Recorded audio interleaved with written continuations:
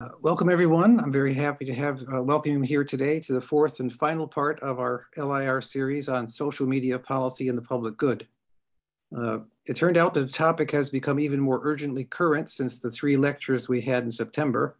Uh, in the interim, we heard whistleblower evidence with even more alarming shortcomings uh, about even uh, more alarming shortcomings at Facebook than our speakers had told us about. Today, however, we return to the legal aspects of free speech, the broad outlines of several issues were laid out by Professor Sarah Song in the first lecture in our series. Uh, today, to continue discussion uh, after our postponement, we are very privileged to have as our speaker the Dean of the Ber Berkeley Law, Erwin Chemerinsky, uh, who also holds the title of Jesse H. Choper Distinguished Professor of Law. Dean Chemerinsky received his BA from Northwestern University and went on to Harvard Law. After two years as an attorney in Washington, D.C., one in the Department of Justice, he began his distinguished career in legal education in 1980 as an assistant professor at DePaul University at Chicago uh, College of Law in Chicago. He came to California in 83 to take up a position at USC's law school, where he taught until 2004. After four years at Duke University, he returned to California as the founding dean of the new law school at UC Irvine. And in 2017, he was brought to Berkeley as dean.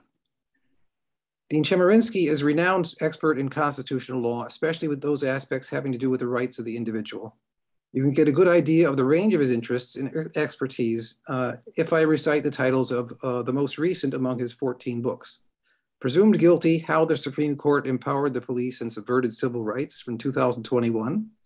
The Religion Clauses, The Case for Separating Church and State, co-authored with Howard Gillman, 2020. We the People, a progressive reading of the Constitution for the 21st century, 2018.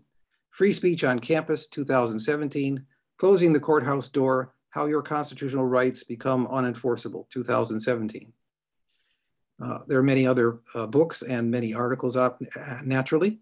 The list of his honors and awards takes over a full page of his CV, and these recognize his service to legal education in general and judicial education in particular freedom of information, free speech, community service, and pro bono work, and many other things. I could go on, but it is better to welcome him now to speak to us on the changing Supreme Court and free speech. Dean Chemerinsky. Thank you so much for that kind introduction. Thank you for having me today. I think that in many ways, we have entered the golden age of free speech. It's not hyperbole to say that the internet and social media are the most important developments with regard to freedom of expression since the invention of the printing press centuries ago. If science fiction writers a few decades ago had tried to imagine a way in which to maximize speech in society, they couldn't have done better than the internet and social media. But every benefit comes with a cost every positive invention has detriments. And certainly that's true with regard to the internet and social media. It makes it easy for people to reach a mass audience. And it might be with information that's desirable, or it might be with misinformation and falsity. It might be to spread information that enriches and uplifts us, but it might be to spread information that destroys reputation and harms us. It has the benefit that it doesn't respect national boundaries, but it also has the detriment that those in foreign countries then can exercise undue influence in our political process. Well, that's what I'd like to talk about this afternoon.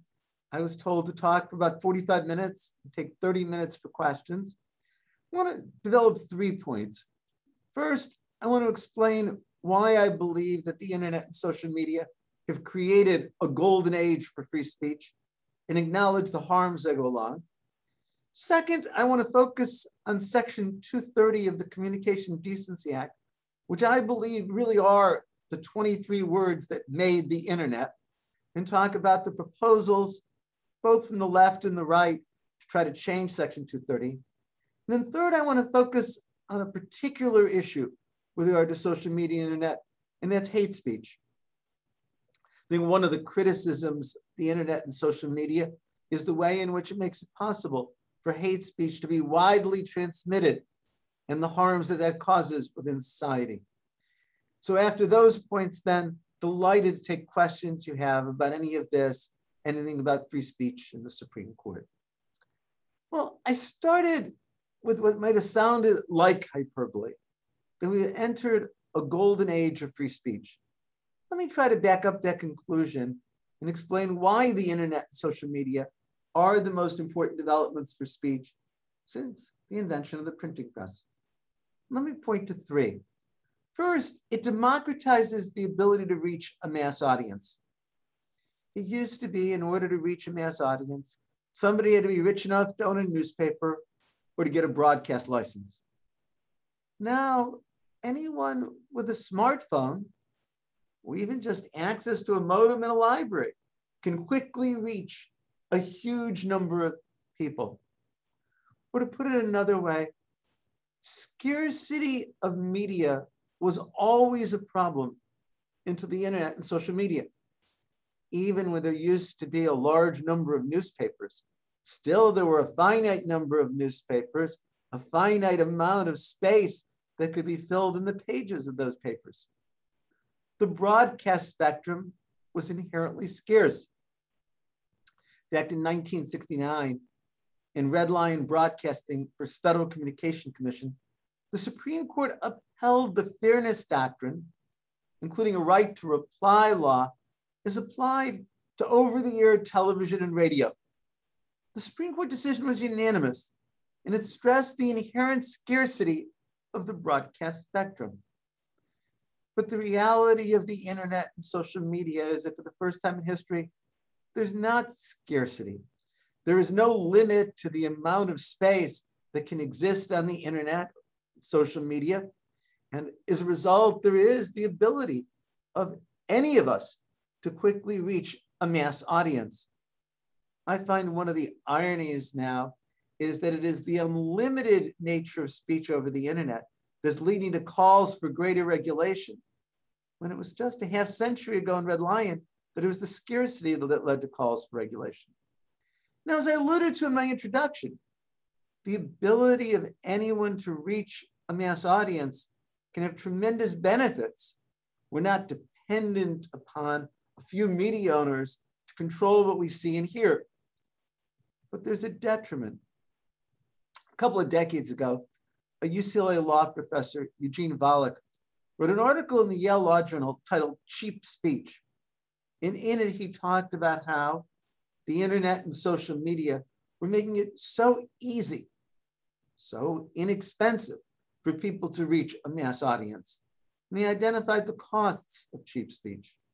Of course, when he wrote that article, it was before things like Facebook or Twitter or Instagram that have only made it more so. So if the information is accurate and truthful, if it's useful to people, this is an enormous benefit. But it could also be that the information is false and inaccurate and thus can do enormous harms to people. As I said in my introduction, what if the speech, even if it's true, is harmful to somebody's reputation? We can have quick dissemination to public of very private information. But I think overall, one of the characteristics of the internet that we have to accept is that it does democratize the ability to reach a mass audience. A second characteristic of the internet that's important is the accessibility of information for all of us. We have the libraries of the world, the museums of the world at our fingertips. My guess is that everybody who's on this call today has had a dinner conversation where there's an argument about something. In my house, it's usually about a, sports statistic. And the easy answer is you take out your phone and you look it up. This is, in terms of the underlying values of the First Amendment, a tremendous benefit. If what the First Amendment is about is access to information, we all have it. We have it like never before. Things you'd need to go to a library or museum to obtain. now you can get instantaneously, or your smartphone, or your tablet or laptop. To put this another way, speech on the internet is much more permanently there than over any other media. Imagine before the internet and social media that a newspaper defamed somebody. I do not minimize the harms that could cause. The false information, injurious reputation could quickly be spread by word of mouth, maybe even picked up in other newspapers. But ultimately, after a relatively short period of time, if someone wanted to go and see that article, they'd have to go to a library and look it up on microfilm or microfiche. Now it's on the internet and it's basically there forever. It's extremely difficult to get anything permanently removed from the internet. Once it's begun to circulate, it is to be found in an almost infinite number of places. So if it's information we want to have permanently available, the internet is terrific. But if it's information we don't, because it's false, because it's harmful, because it's injurious reputation, because it invades privacy, well, you see the harms being there too. A third characteristic of the internet that I think is so important is that it doesn't respect national boundaries. It transcends the usual lines between nations. When the revolution began in Egypt, the government there tried to cut off internet access for the people in the country. But quickly through satellite phones, they were able to access what was going on and what the reporting was, in, what was going on in their country. Countries still try to cut off speech from outside, but the internet makes that enormously difficult to do. There's benefits to that. Makes it harder for any government to engage in censorship. But there's detriments to that as well. The United States Supreme Court has estimated that 40% of the pornographic material on the internet in the United States comes from other countries. Makes it very difficult, even if the government wanted to, try to control sexually explicit material over the internet. Also, it makes it quite easy for foreign countries to try to influence American elections. We saw that in the 2016 election. The Mueller report made clear that there was a systematic effort by those in Russia to influence the outcome of the election. And given how close it was, the influence might have been decisive. So I can talk about all of these benefits of the internet. I recognize the harms of the internet. But it's important to see that both the benefits and the harms come from the same basic attributes of the internet. It makes it so easy for anyone for all of us to speak. It makes it so easy for any of us, all of us, to access information at any point in time. Well, with that in mind, let me focus on the second part of my remarks, which look at Section 230 of the Communications Decency Act. There's a book that came out about two years ago titled The 23 Words That Made the Internet.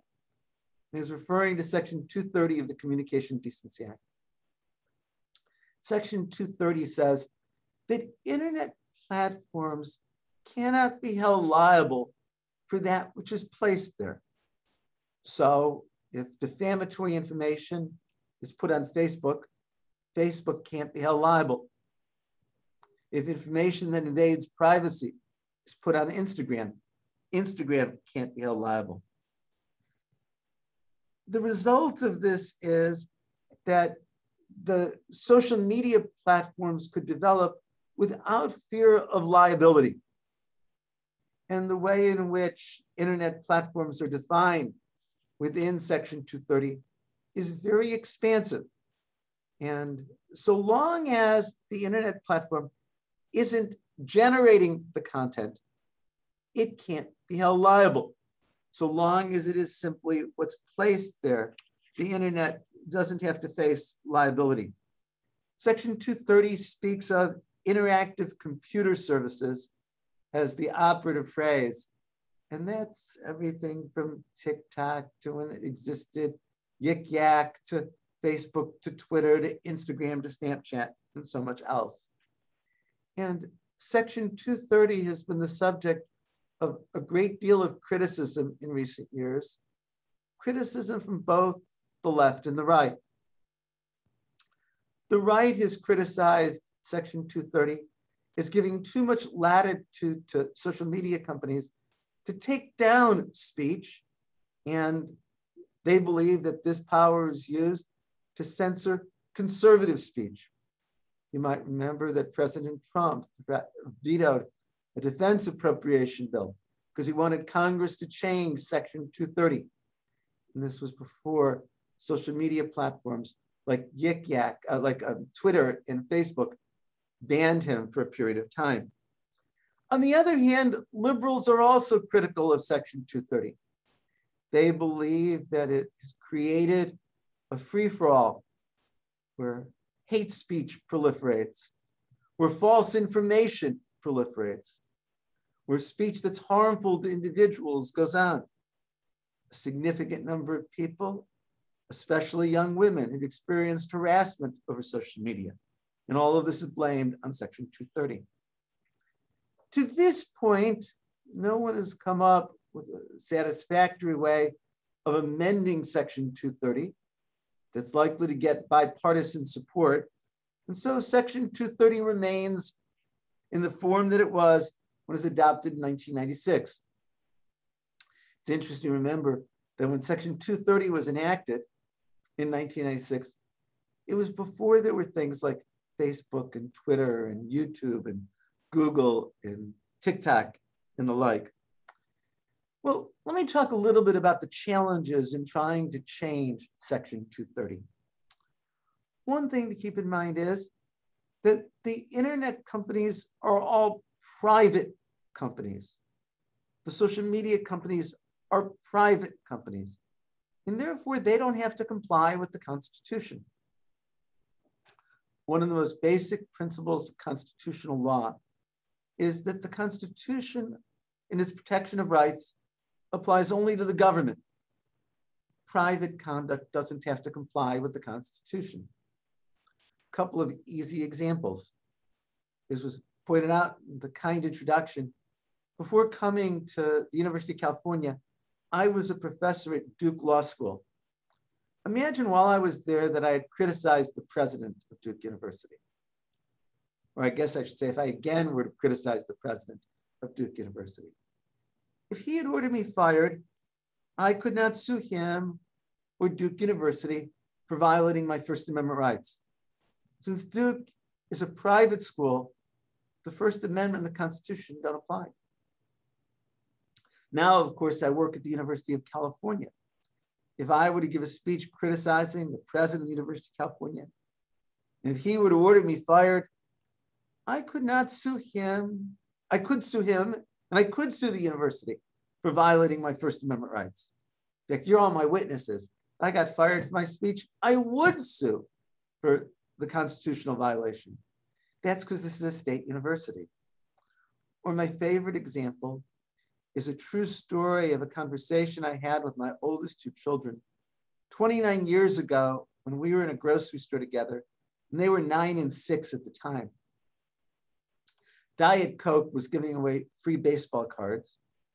Three were pictured on the outside of the package. As we went up and down the aisles of the grocery store, my two sons were arguing, as they often did at that age, but who was going to get the extra baseball card? Finally, I said, be quiet. I don't want to hear anything else about baseball cards to leave the grocery store. My then nine year old turned to me and said, You can't tell me to be quiet. I've got freedom of speech. I was ready for him. I said, Freedom of speech means the government can't tell you to be quiet. I'm not the government, so I can. To which he, without missing a beat, turned to me and said, Well, you're like the government to me, so you shouldn't be able to tell me to be quiet. It's when I first knew that someday he was going to go to law school and be a lawyer. He's now a federal prosecutor in Los Angeles. My point of these stories, though, is private companies, even powerful ones, don't have to comply with the Constitution. Facebook, Twitter, YouTube, Google don't have to comply with the Constitution. There's a lawsuit that's been filed by Donald Trump arguing that these social media platforms that have banned him, like Facebook and Twitter, do have to comply with the Constitution. But I'll tell you as a matter of constitutional law that that claim is frivolous. They are private. In the words of constitutional law, there is no state action, so they don't have to comply with the Constitution. A second characteristic that's important in thinking about the internet social media is that government regulation of the internet and social media does have to meet the First Amendment. The social media companies, in what they do, doesn't have to comply with the First Amendment. But government regulation of social media companies does have to meet the First Amendment. Florida adopted a law just last spring that says that it's against the law in Florida for social media companies to censor or quote deplatform. So if a social media company were to censor deplatform on the basis of the ideas, it would violate Florida law. Immediately, a federal court declared this unconstitutional because it's the situation that government regulation of these private companies is something that implicates the First Amendment, just like government regulation of any private companies does. So Congress in its ability to regulate internet companies is very limited. Now, there have been proposals that have been introduced into Congress to try to impose more regulation on the internet. But I think that they are likely either to have First Amendment problems or real practical difficulties. I don't think that Congress can tell Facebook or Twitter or YouTube what to put up or what not to put up any more that it can do that with regard to the New York Times, Los Angeles Times, CNN, or the San Francisco Chronicle. One proposal that's gotten some traction is a bill that's called the PACT Act, it's bipartisan sponsorship, that would say if social media companies have notice that speech is there that meets certain criteria, then it will have to take it down or face liability. The problem with this is the sheer quantity of speech that goes on every minute, every day over social media. The most recent statistics that I could find were 2013, which is now eight years ago. So this is probably a fraction of what's there. But at that time, 350 million photos were put a day on Facebook. 4.75 billion items of information were placed a day on Facebook. Or put it another way, um, in the first quarter of this year, Twitter took down 5 million pieces of information. Um, in, between 2015 and 2018, they took down 1.2 million pieces of information that was seen as supporting terrorism. If we said that social media companies were liable for any speech that was placed there, they would need to pre-screen everything before it was there the quantity would be so enormous. And of course, they would want to avoid liability. So they would err on the side of censorship. I think all of this is what makes reform of Section 230 so very difficult. It's why liberals and conservatives have not been able to agree to any solution of what to do with regard to social media. It'll be interesting to see as efforts go forward with regard to Section 230 is there a way of reforming it that would be able to get through Congress and be signed by the president? Is there a solution that's better than the disease that it's trying to cure? But that's what Section 230 is about. It's protection of the internet, the social media for being liable for that which is just posted there. Well, the third and final part of remarks focus on hate speech. And I think among the most powerful criticisms of expression of the internet social media is the prevalence of hateful expression. The law in the United States under the First Amendment is different from that that exists, at least in most Western nations. The United States provides far more protection for hateful speech than any other Western nation. Why is that? And should it be that way?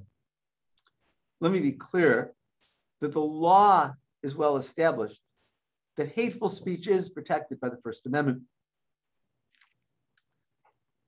The Supreme Court cases on this are clear. There's an earlier case in 1992, RAV versus City of St. Paul. St. Paul, Minnesota adopted an ordinance prohibiting burning a cross or painting a swastika in a manner likely to anger, alarm, or cause resentment. Burning a cross, painting a swastika are ugly symbols of hate. But the Supreme Court unanimously declared the law unconstitutional. The Supreme Court was explicit that even a hateful speech like this is protected by the First Amendment uh, about a decade later, in 2003, the Supreme Court decided Virginia versus Black. It involved a Virginia law that prohibited cross burning.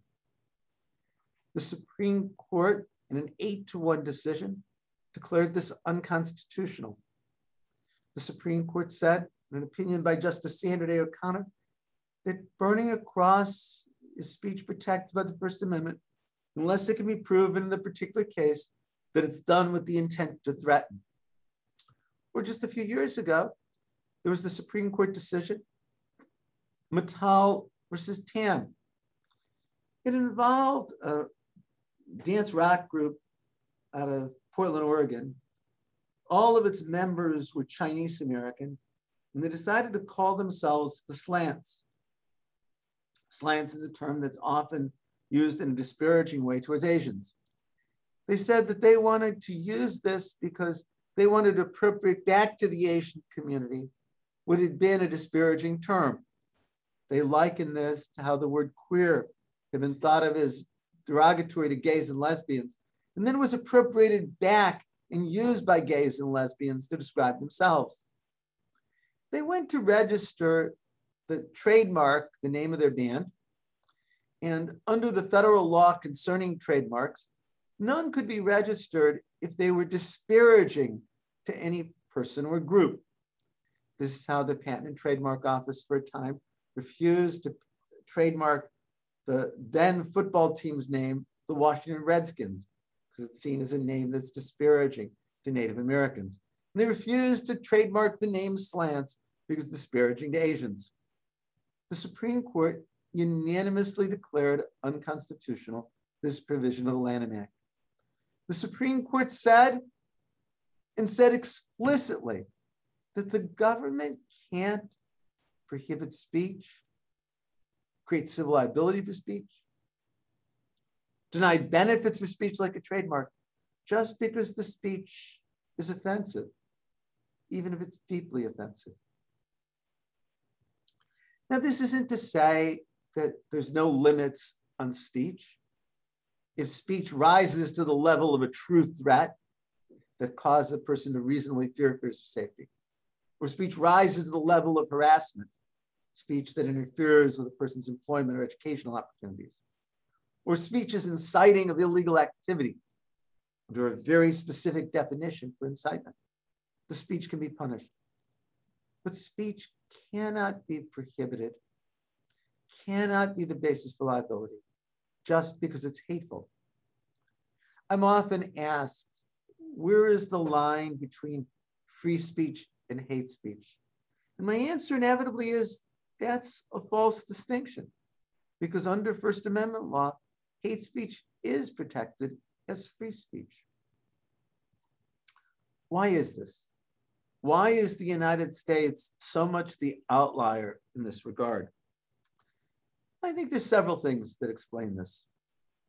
One is the difficulty of defining what's hate speech in a manner that's not unduly vague or overbroad. The Supreme Court has been clear that any law that regulates speech must be clear about what's protected and what's allowed. It can't be too vague. It can't regulate substantially more speech than it needs to to accomplish its purpose. No one has yet found a way of defining what's hate speech so that it's not unduly vague or overbroad.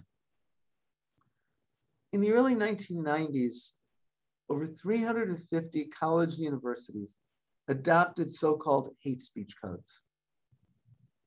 Everyone to be challenged in court, without exception, was declared unconstitutional. Almost always they were declared unconstitutional on vagueness and overbreadth grounds. As an example, after a series of ugly racist incidents, the University of Michigan adopted a hate speech code. It prohibited speech that disparaged on the basis of race, sex, religion, sexual orientation. So it could not be speech that would disparage people on account of their race, sex, religion, sexual orientation. But what does it mean to disparage? Or another word that was used in the law, what does it mean to stigmatize? I should note that that's what the European laws are often written as. You can't have speech that stigmatizes or demeans on the basis of race, sex, religion, sexual orientation. But what do we mean by disparage or stigmatize?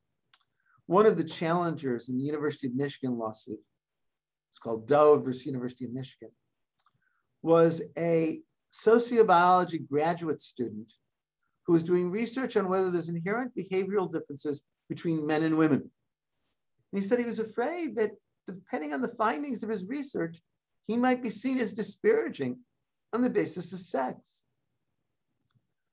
Others who were doing research in terms of race, sex, religion, sex orientation were part of the lawsuit challenging this. And the federal district court found that the Michigan hate speech code was unconstitutionally vague and overbroad. This is the same thing that happened with so many other speech codes around the country.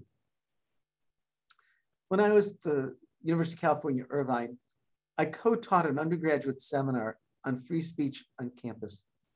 And one of the exercises that we asked of our students was to try and draft a hate speech code and to try to do so in a way that wouldn't be unduly vague or overbroad. Our students found it to be not just challenging, but probably an insurmountable task. How can we define what's so hateful that it can be prohibited and be sufficiently clear that it's not vague, that it's not overbroad? I think there's another reason why hate speech is protected in the United States, and that's that the experience under hate speech laws has shown us that it's so often used against the very people we desire to protect between the time the University of Michigan adopted its hate speech code and the time that it was struck down, every enforcement action under it was brought against African American and Latinx students. 100% of the enforcement actions were brought against the very groups that the hate speech code was most seeking to protect. This has been the experience in Europe as well.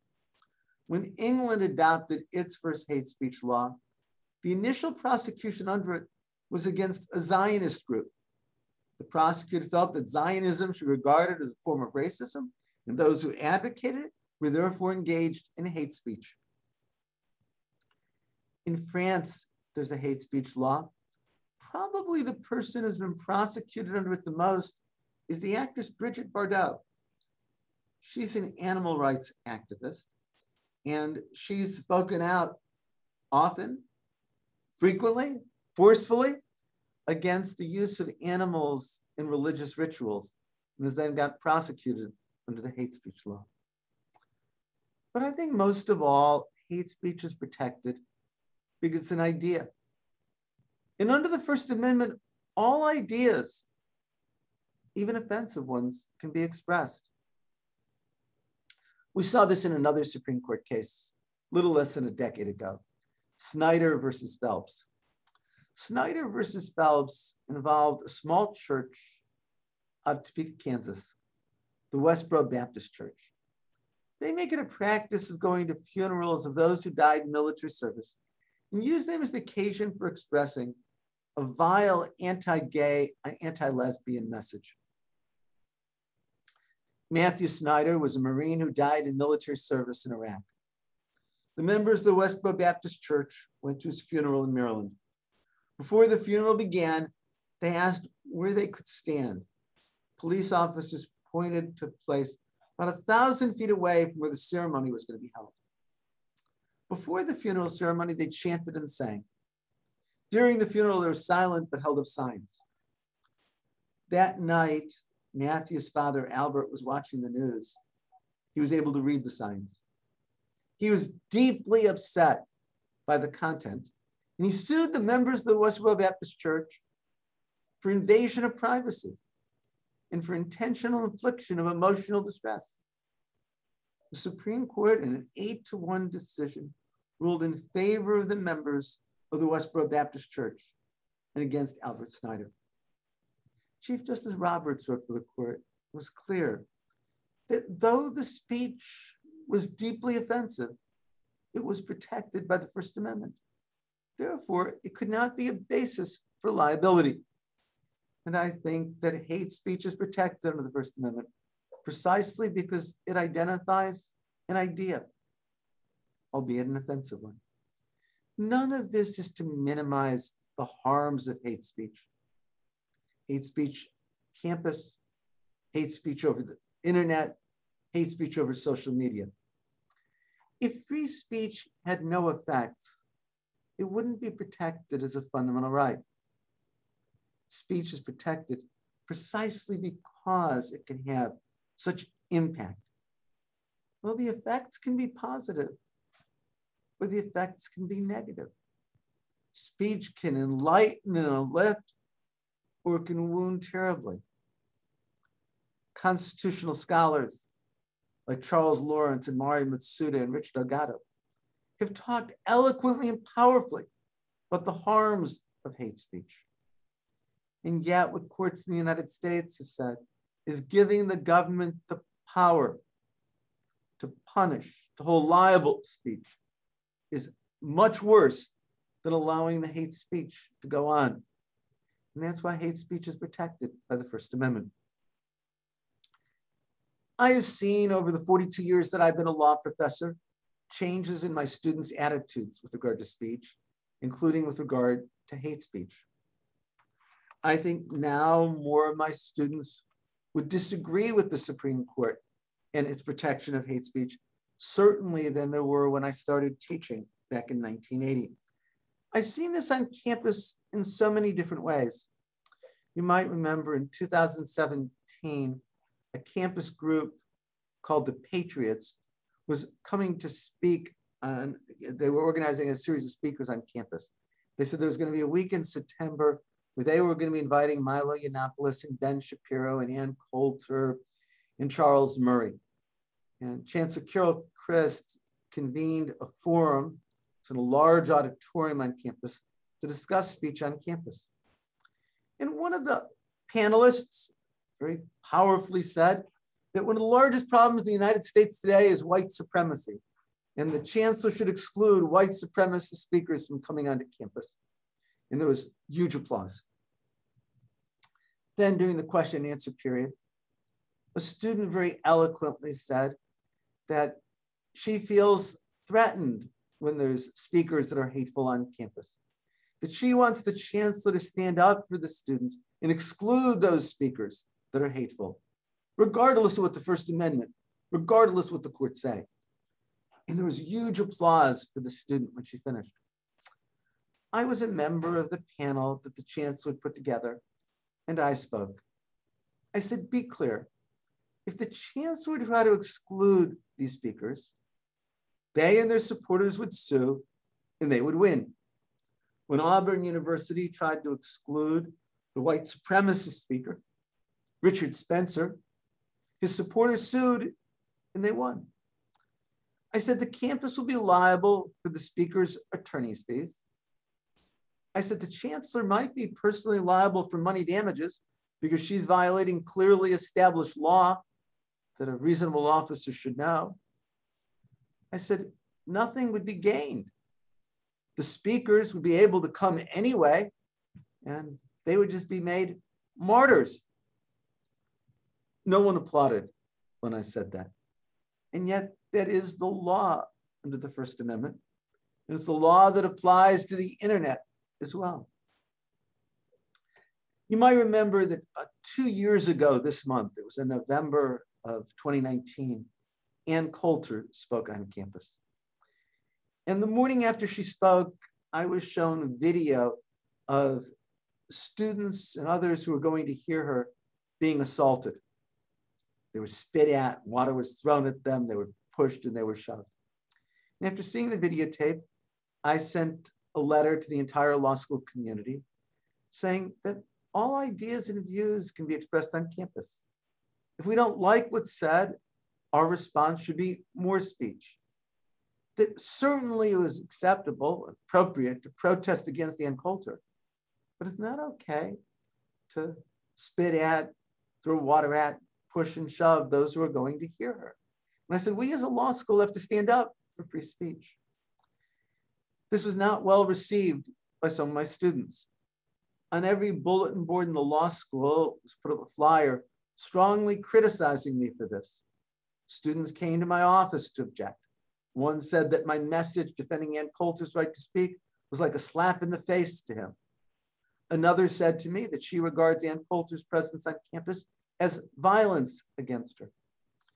If you look at the Berkeley Law website today, if you look at the Racial Justice Hub, and if you look at the letter from student affinity group leaders, they criticize me for supporting, quote, the intellectual acceptability of white supremacist views. I don't support the intellectual acceptability of white supremacist views. What this is about was I defended Ann Coulter's right to speak on campus. I would continue to do so because the assumption of the First Amendment is that the only way your speech or my speech will be secure tomorrow is to get the speech that we don't like today. We don't need the First Amendment to safeguard the speech we like. We would let that go on anyway. We need the First Amendment to protect the speech that we detest. Ultimately, the First Amendment, and for that matter, the Communication Decency Act, rests on the premise that we're better off letting all ideas and views be expressed than to let the government pick and choose. Once we let the government exercise power over what's said, then we're at the mercy of whoever's in power in terms of we're able to see, to hear, to read. And what free speech is all about is distrust of that government power. I think world history shows why we don't want the government to have that authority. The overall assumption of the First Amendment is that more speech is better. It's not always true. If the speech is hateful, more isn't better. If the speech is child pornography, more isn't better. But overall, I think that that assumption is correct, that generally more speech is better. And of course, the internet, social media bring us more speech than ever before. That's why I refer to our current time as the golden age of free speech. Well, I've talked my 45 minutes. I'm glad now to do questions. Um, so I understand I should just go to the chat and read the questions and do my best to answer them. Florida State just prohibited their faculty from testifying in the hearings on voter laws. Can faculty sue? Um, yes, the University of Florida has prohibited three professors from testifying with regard to the Florida voter law. Um, I think that this is an infringement of their free speech, and I think they can sue, and I think they'll win. But it's a little bit more complicated. I cannot engage in behavior that has a conflict of interest with my employer. I can't sue the University of California. I can't engage in a business that would compete with something the law school is doing.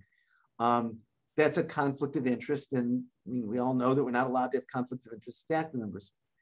The question is, is having these professors testify and express an expert opinion a conflict of interest? I don't think so. Um, I write op-eds all the time. One that just came out today and just a few minutes ago in the Los Angeles Times about this morning's oral arguments in the Supreme Court. I have written op-eds very critical of the University of California. Um, I think that that's my free speech right. I don't regard my expressing my views as a conflict of interest. I don't think it's the same as suing the university as a lawyer with a conflict of interest. I don't think that it's the same as having a competitive business. But that's the issue. I think this is about speech, and I hope the professors sue, and I hope they win. From what Dean Chemerinsky has pointed out, it certainly appears that they can and will win too. Yes, I would think they can sue. Um, it says, but they're not. I did not know that they made the choice not to sue to just capitulate. I didn't know that. Without directly, and I don't, I, I, I don't know. Without directly addressing Section 230 or attacking free speech, how can the legislature or we citizens in general address internet misinformation and hate speech? Maybe antitrust actions, boycotts, or general citizen calling out free speech and media exposure pressures since internet social media companies are private companies. Yes, there's the possibility of antitrust actions against the social media companies that doesn't directly deal with particular instances of misinformation or hate speech, but there are antitrust actions in, say, Facebook and Google. There can certainly always be a boycott. People are allowed on their own to organize boycotts, and that's in itself an exercise of free speech and freedom of association. We can certainly create websites to fact check and try to put forth accurate information. Um, the internet companies themselves can engage in choice about what to put up and not put up. Facebook has tried very hard to, in recent months, take down false information about vaccinations. And Facebook, as a private company, can make whatever choice it wants as to what goes up or doesn't go up. That's its First Amendment rights. But I'll tell you, none of these are very satisfying. None of these seem to get at the root problem of the extent to which misinformation is able to proliferate on the internet and the harms of that misinformation. Um, a group of us here on campus, including the dean of the journalism school and a prominent professor in computer science, in engineering, are trying to organize, and Janet Napolitano is part of it, trying to organize to try to think of what can be done to deal with the misinformation over the internet is there a way of reforming Section 230 that doesn't throw out the baby with the bathwater? And at this point, I don't have that answer. I've not yet seen a solution to the problem of Section 230 that isn't worse than the problem. The ACLU has been vilified by both ends of the political spectrum for actively protecting free speech rights. Yes, and that's not something new. In the late 1970s, early 1980s, the ACLU protected the right of the Nazis to march in Skokie. The ACLU lost nationally one third of its members for doing that. More recently, the ACLU has protected the rights or advocated for the rights of white supremacists to be able to express their message. But that's what the ACLU exists for, is to be an advocate for constitutional rights. And um, so, yes, the ACLU has been vilified for doing this, but I think the ACLU sees it as its mission.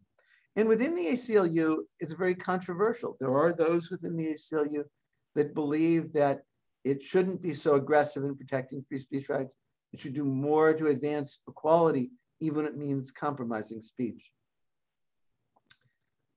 Algorithms like those at Facebook elevate visibility of some idea speech of others. Can the elevation be regulated in the Constitution? Should it be regulated? I think it's a really interesting question. Um, and I don't know the answer to it. I read an op-ed in the New York Times not long ago that focused on this. And the group here on campus is going to talk a lot about algorithms. Um, the difficulty is that, say, Facebook or Twitter are private entities. They have free speech rights. If the government seeks to regulate their speech, then that violates the First Amendment. And part of their speech rights is choosing what to put up in what order. And that's done by algorithms. To answer your question perhaps more specifically, I think we could require more transparency and disclosure of the algorithms. And part of the PACT Act that I referred to would require more disclosure and transparency of the algorithms. I think the harder question is, if we're gonna do more than transparency, how can the government regulate without violating the First Amendment? Um, the California Law Review gets to decide what to put up first and second and third. The University of California Berkeley Law School on its website gets to decide why don't Facebook and YouTube get to decide what to display more prominently? And um, so I think that's the, the real question with regard to algorithms, but it's a great question. And um, how, if at all, can they be regulated consistent with the First Amendment? No one's come up with a good answer to that yet, but it's one we need to focus on. Can you please contrast your free speech approach to Canada's? Yeah, there's much more protection of free speech in the United States than in Canada. Um, just as an example, under English law, in a defamation case, the burden of proof is placed on the defendant to show truth. In the United States, the burden of proof is placed on the plaintiff to prove falsity. Canada has allowed much more regulation of sexually explicit material than the United States.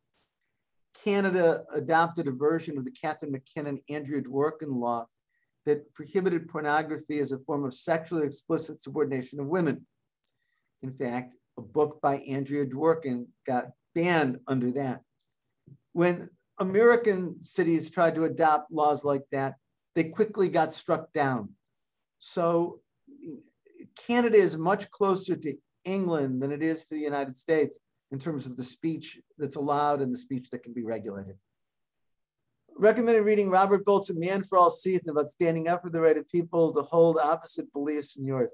Um, it's a wonderful play. It's the story of Sir Thomas More. Um, great movie as well. Not long ago, as part of a eulogy, I quoted from the book, um, the play A Man for All Seasons. One of the underpinning assumptions of liberalism which I include myself in it, is a subjective reality that can be held up as a measuring stick for evaluation, comparison, determination. But today's social media participants were not raised that way. They were raised in a post-Foucault version of human interaction where power and knowledge not underlaid with fundamental facts. Though people in reality-based communities with pity or contempt, in that situation, there's no misinformation, just winners and losers. It's a wonderful comment not sure I can do it justice. I think I'll take it back to where I ended. I think the question is who do we want to decide what's true or what's false? The assumption of the First Amendment is it's better to let all ideas and views be expressed. And there's hope that the true ones will survive and the false ones will be refuted. There's no assurance of that. There's times when falsehoods spread. There can be great harm until the falsehoods are weighed by the truth. But the First Amendment, I think, is based on the idea that we don't trust the government to tell us what's true and what's false. And so we don't give the government the power to censor speech that says that vaccines don't work or some of the silly lies about vaccines changing people's chromosomes. The government can't take those off the internet. The government can't punish those. Um, I think, therefore, that what the First Amendment rests on is this distrust of government power. And that's why we don't give the government that kind of authority. Um, obviously, there's true and false thing. I mean, it's not that there's nothing that's true and nothing that's false. I'm sitting in a chair. COVID's killed over 7,000 people in the United States. Greenhouse gases cause climate change. Um, but do we want the government to be there to censor the opposite? the Holocaust happened, but we want the government to be able to remove from the internet speech that denies the Holocaust. That's why I say I think this question is one of government power. And at least under current First Amendment law, the government doesn't have that power. Question, did you say you cannot be fired for being critical of the University of California president? Does this apply to all faculty or staff at the University of California, Berkeley? Um, yes, generally you can't be fired for criticizing the president of the University of California or the provost or the dean or anyone else. Um, that's not to say it's unlimited. If it could be proven that the speech was defamatory, that it was false and you knew it was false and it harmed reputation, you know, there might be a realm of that. But if I were to criticize a choice that Michael Drake has made and he would order me fired, I could sue and I would win. So in general, and then I can get into all the specifics you want, in general, speech critical of government officials is protected by the First Amendment. And I can go into more detail if you want. How does the discussion change if social media, Facebook become public utilities? Well, it would take a state law to make them public utilities. We don't have any national public utilities, so I don't think Congress would do that. Um, but we could make the Facebook, I guess we could make Facebook a public utility in the same way that the electric company or the gas company is a public utility. We could subject it to much greater regulation, but there's all sorts of problems with that. When it comes to the electric company or the gas company, they don't regulate speech. If making Facebook a public utility, still a private company, forces it to regulate speech in some way, well, then you're intruding on Facebook's free speech rights and the like. Also, what do we mean by a public utility? Phone companies are a public utility in the sense that they have to carry anyone who wants to use them. What do we mean by making Facebook a public utility? Or perhaps the best way I can answer is I don't know that making them a public utility would solve the problem because I don't know they would give the government any more latitude to regulate because they're still private companies, even if they're deemed public utilities. The public utilities, PG&E, are still private companies.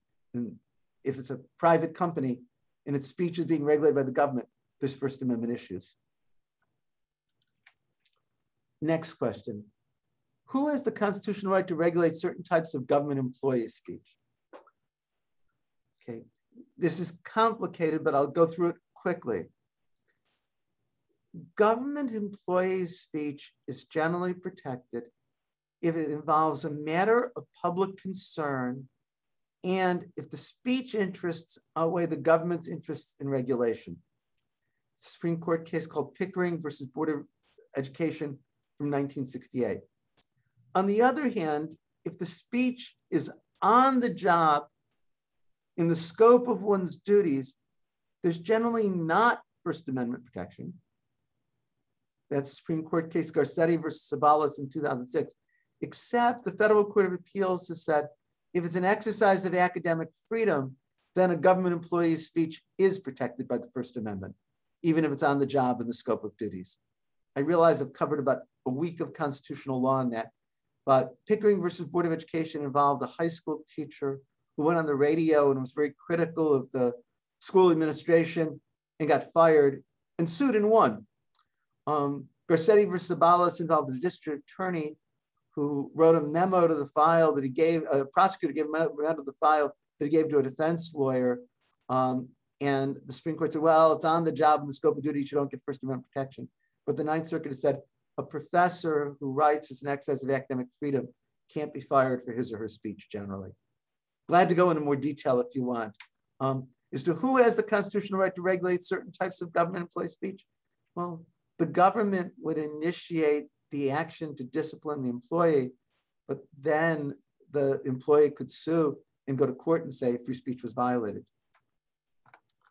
Um, let's see. When the Bush crew coined the phrase reality-based community, they were using that as denigration, not admiration. The reality-based community will fall further and further behind I think the Steve Bannon of this world are pretty confident that holding on to the truth rather than asserting alternative facts vigorously is a losing tactic. I'm not sure what to say. I hope you're wrong. Um, I hope that in the end, um, truth about vaccinations or climate change or the form of government wins out. But I'm skeptical as to, if not, whether censorship would be able to have truth triumph. Will the Supreme Court kill New York Times versus Sullivan? Okay. Um, in 1964, in New York Times versus Sullivan, the Supreme Court said that the First Amendment protects open and robust debate. It protects even vituperative attacks on public officials. And the Supreme Court made it difficult for a public official to win a defamation action. In order for a public official to win a defamation action, the public official has to prove with clear and convincing evidence the falsity of the statement and actual malice. That the defendant knew the statement was false, acted with reckless disregard of the truth. It makes it very difficult for government officials, the President of the United States, a senator, the governor of California, the chancellor, the dean of a law school, to win a defamation action. And the reason for that is the desire to make sure we have open and robust debate about our government, and especially those who hold and run for public office. When New York Times versus Sullivan came down the next day, then now late University of Chicago law professor Harry Kalven said, the decision was an occasion for dancing in the streets. I think it's the most important free speech case ever decided by the Supreme Court. But a couple years ago, in a case called McKee versus Cosby, Justice Clarence Thomas called it into question. This past spring, both Justice Thomas and Gorsuch called it into question. And it might be that there's a majority of the court to reconsider it. But this goes back to what I said that separates our law from, say, that in England or Canada. In England or Canada, the defendant has to prove the truth of the statement as a defense defamation action. It's often hard to prove something to be true. Under New York Times versus Sullivan, the plaintiff in a defamation action has to prove it's false. I think it'd be a huge setback of free speech to overrule New York Times versus Sullivan. Is there a potential distinction between the speech of individuals and regularly intentional manipulation of hate speech and a massive messaging for purpose of profit? I think the question is how to do that. I mean, to start with, how do we define what's hate speech? That's proven elusive in a way that's not unduly vague or overbroad. What do we mean by massive messaging for purpose of profit? The New York Times is, I think, the best-selling circulating newspaper, about 8 million subscribers. Is that massive messaging for purpose of profit? I don't think it engages in hate speech, um, but it's not speech of individuals. Um, but the answer is we haven't found a way to distinguish between speech of individuals on one hand and speech of entities on the other. And even if we did, are postings on Facebook speech of individuals? Or is it massive messaging for purposes of profit? It's one thing for me to post something on social media. If somebody has a million followers, is that massive messaging for purpose of profit? Um, so under current law, no such distinction is drawn.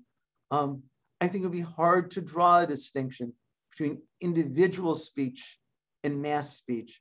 And of course, we don't want to say that speech gets less protection the more people it reaches, the more effective it is.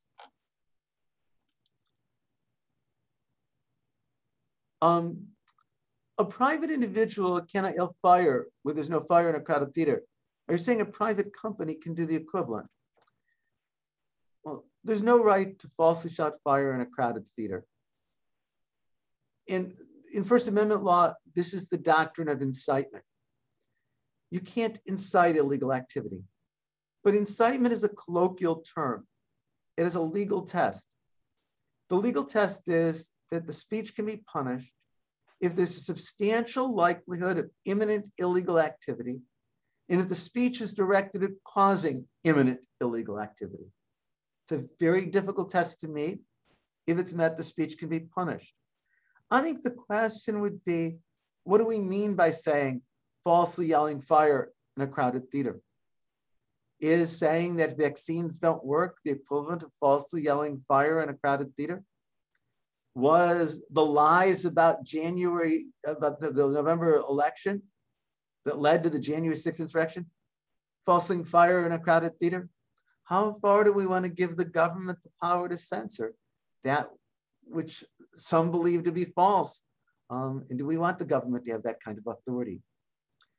If that false alarm was a result of a group of people in the theater responding to the intentional manipulation, then I think yes. Um, I'm trying to think of how, how to respond. Um, I think it comes down to what do we mean by intentional manipulation? How are we going to define intentional manipulation? If somebody says vaccines don't work and they attract a huge number of Facebook and Twitter followers, is that intentional manipulation? They're wrong, or is the best solution for people to explain why vaccinations do work? Or as another example, um, if someone to deny the Holocaust, um, should we say that's intentional manipulation? We can stop them, or do we say that the appropriate thing to do is to allow responses? Now, I want to keep in mind here, Facebook and Twitter and Google and YouTube do engage in content moderation of their own. Since they're private, they can do that and they take down huge amounts of information. The reality, though, is they just can't keep up with the quantity that's there. If the hateful message is a result of algorithms, isn't that a business model? But isn't everything the New York Times chooses to put in its headlines also a business model? Gosh, isn't what we choose to put on our website of Berkeley Law in a sense a business model? And that we're trying to attract students to come here and attract donors to give to us. The fact that there is a motive to, even a profit motive in some instances, that, that can't be enough. I mean, book publishers do everything they can to sell their books. The profit motive doesn't mean it's less protected by the First Amendment. What are thoughts about the current Supreme Court and the Texas abortion law? Um, I mentioned I just finished and it's, it's, online right now in the LA Times. Um, we still have a couple of minutes. Um, there's no doubt that the Texas abortion law is blatantly unconstitutional. It prohibits abortions at about the sixth week of pregnancy when Roe versus Wade says abortions can't be prohibited until viability, which is about the 24th week of pregnancy. The Texas law is unusual because it's not enforced by the Attorney General or district attorneys in Texas. It's enforced by civil suits. And the issue that was argued this morning in the Supreme Court in Whole Woman's Health versus Jackson is can you still sue state officials even if they're not the ones enforcing the law. And I think the Supreme Court is going to say yes, because an unconstitutional law has to be able to be challenged in federal court. The other case is United States versus Texas. Can the United States government sue to have an unconstitutional law invalidated? And I was less sure based on the oral arguments where the justice will come out. Last question. If you can't be fired for criticizing the chancellor, why can a Tesla employee be fired for criticizing Elon Musk? It goes to what I said. The First Amendment applies to the government. It doesn't apply to a private company. So since I work for the government, it's limited in firing me for my speech. But Tesla is a private company and it can fire its employees for their speech. The First Amendment limits what the government can do. It doesn't limit what private companies can do. I think I've come to my time, which is 315. Thank you for the wonderful questions.